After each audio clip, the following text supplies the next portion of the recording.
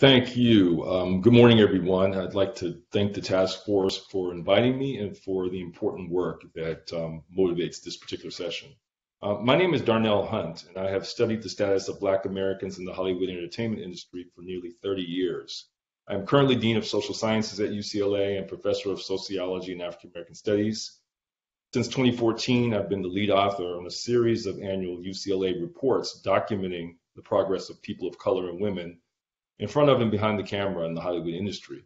Before this, uh, I authored a series of reports for the Writers Guild of America West on diversity among Hollywood writers, a study on the state of African American inclusion in primetime television for the Screen Actors Guild, and I helped staff Hollywood interviews or testimony before the U.S. Commission on Civil Rights 1993 Los Angeles hearings in the aftermath of the 1992 uprisings. So I'm here today to testify about the significant impact that Black exclusion from and underemployment in the Hollywood industry has had on the group's position in America. First, it's important to consider that the Hollywood industry was born in the early years of the 20th century during the height of the Jim Crow era, itself a backlash against Reconstruction and unfinished efforts to address the damages suffered by Black Americans during centuries of American slavery. A product of that moment, the Hollywood industry was structured by the same doctrine of white supremacy that organized life throughout American society.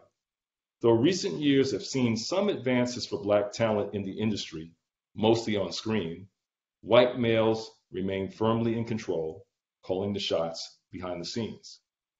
But why does this, any of this matter in the overall scheme of things, given the very real challenges that the legacy of American slavery continues to pose for Black Americans in terms of economic, political, and social justice, why should we care about how the group has been treated by Hollywood?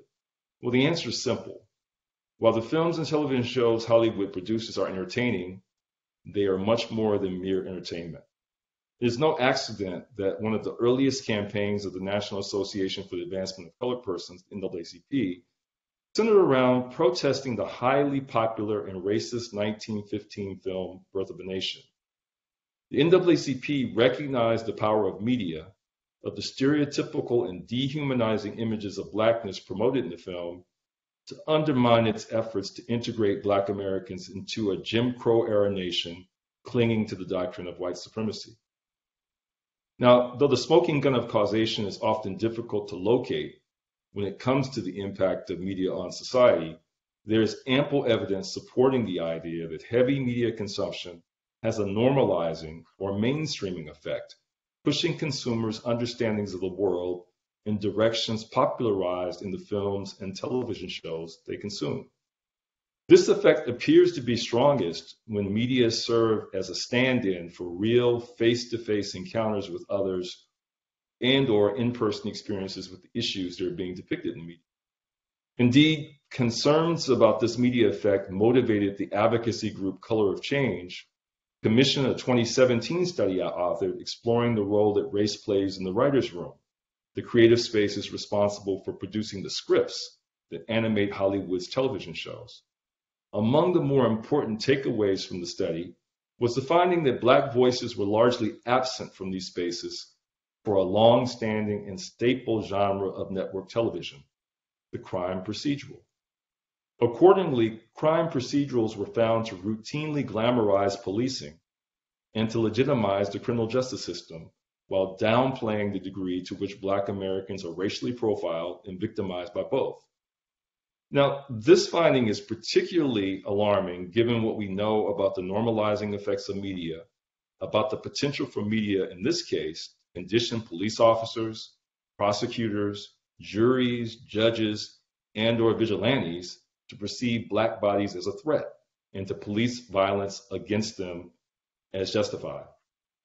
According to the US Census, black Americans alone constituted about 12.4% of the population in 2020.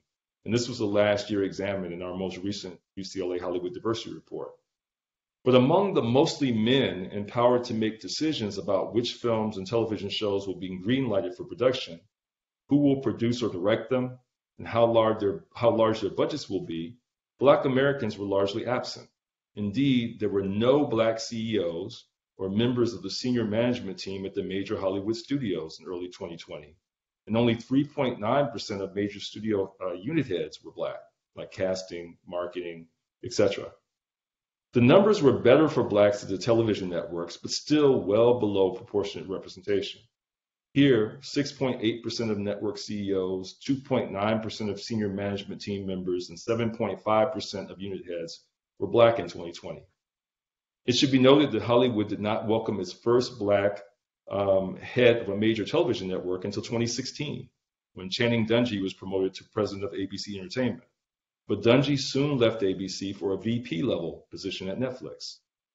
Among television show creators, the creatives who develop and pitch ideas for new TV series to the networks and studios, blacks were just 4.5% of the total in broadcast and 7.4% in digital during the 2019 20 season. In short, the cost of marginalizing black talent among those who call the shots in Hollywood is exceedingly high. Not only are black managers and creatives deprived of lucrative employment opportunities, but the decisions of the white men who dominate the industry result in films and television shows that often fail to affirm the realities of black life in America. Given what we know about the power of media to influence how we think about who we are, who we are not, and who we hope to be, this is a legacy of white supremacy that must be rectified. Thank you.